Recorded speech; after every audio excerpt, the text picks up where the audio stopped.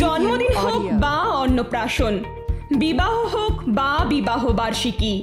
যে কোনো অনুষ্ঠানের জন্য বুক করুন পল ক্যাটারারকে আমরা প্রফেশনাল ক্যাটারিং এবং ইভেন্ট অর্গানাইজ করে থাকি